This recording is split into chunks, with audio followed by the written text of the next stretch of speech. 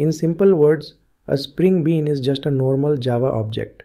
The only difference is that the Spring framework creates the object, manages it, and provides it wherever it is needed in the application.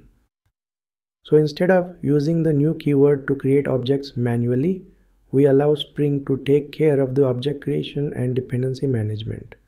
This process is known as dependency injection. Now let's understand this with a small example.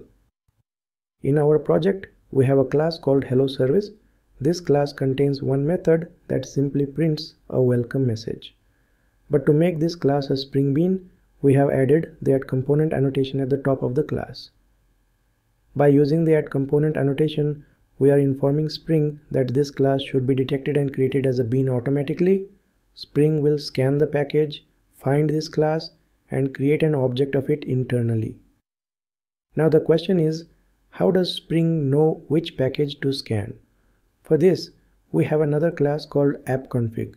This class is marked with the add configuration annotation which tells Spring that this class contains configuration instructions. Inside this class we also have the add component scan annotation.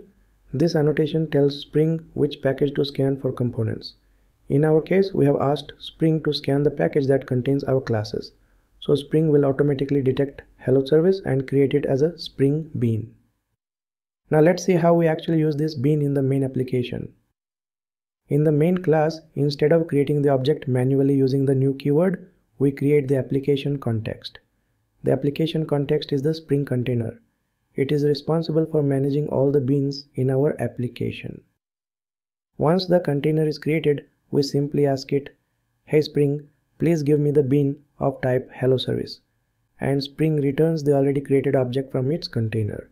We store that object in a variable and then we call the method that prints the welcome message.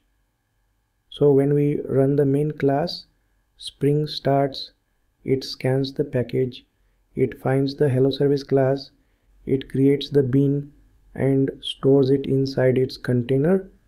Then we request that bean and call the method. The message gets printed successfully. This demonstrates the core idea of Spring Beans. Spring manages the object lifecycle. We only focus on writing clean reusable code. So to summarize, a Spring Bean is a Java object created and managed by the Spring container. We mark a class with add component. We enable scanning using add component scan and we retrieve the bean using the application context. Great, I will see you in the next lecture.